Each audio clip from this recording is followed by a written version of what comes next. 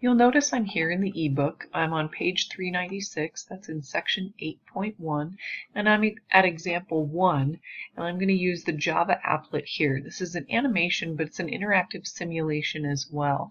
And what you'll notice here is it does require Java, and so we use Firefox because we know that Firefox supports Java. Chrome does not. Uh, if you're having trouble with it loading, you may need to update your Java as well. So I'm going to click on that. It should open something that looks like this.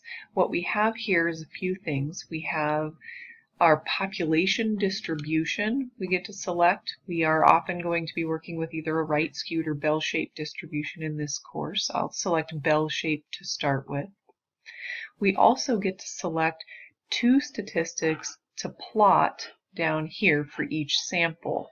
So for each sample I'm going to measure the mean and I'm going to measure the mean, uh, the standard deviation. I'll switch that because we don't use the median a whole lot in this course. So for each sample, I will record the mean and standard deviation and plot the results down here. Now you can see that bell-shaped distribution is our population and we will start sampling two things about the samples. The sample size for each individual sample is 2 in this case. I can change that if I want to a larger sample. I also have over here the number of samples that I'm taking. Either I can sample one at a time, um, I can take five samples at a time, or I can do a thousand at a time. So let's just see how this plays out. If I take five samples, each sample is size 2, what you'll see is there's first sample, the second sample, the third. For each one of those, I'm measuring a mean and a standard deviation. So there are my five samples. So each sample has a mean, and when you take all those means combined, you get a distribution of those sample means. So this marker right here is the mean of the sample means. And that red marker is the median of the sample means. Now down here, the green marker is the mean of the standard deviations.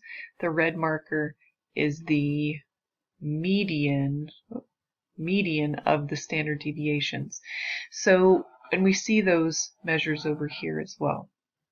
So the collection of sample means has a distribution that's called the sampling distribution of the sample means. The collection of sample standard deviations has its own distribution. That's the sampling distribution of the standard deviation. Now you'll notice here we of course sampled a thou or we sampled five times with a sample size of two. Let's go ahead and sample a thousand more times so you can see what happens with a lot of samples. So you notice that our sample means do have that nice symmetric distribution.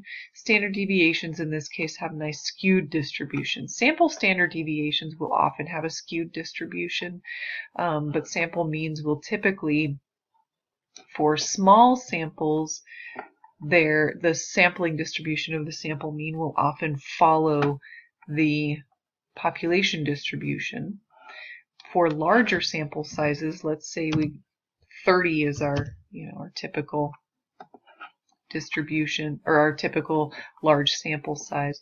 So for a sample size of 30, let's go ahead and sample a thousand times. You'll notice that we still have a symmetric sampling distribution for sample means, but you notice that the standard deviation of sample means is much lower. That's the standard error of the mean. So down here, what we see is that as we increase sample size, that distribution of sample means is narrowing to a much tighter bell curve. So still symmetric with the same mean as the population, but much narrower.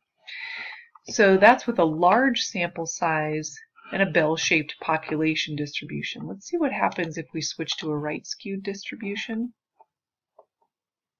So again, small sample size, let's do a thousand samples. You'll notice that with a small sample size, the sampling distribution of the sample mean is skewed similar to the population. If we increase our sample size to 15, and again sample a thousand times, you'll notice that we're getting more symmetric, but we're still seeing just a bit of that right skew.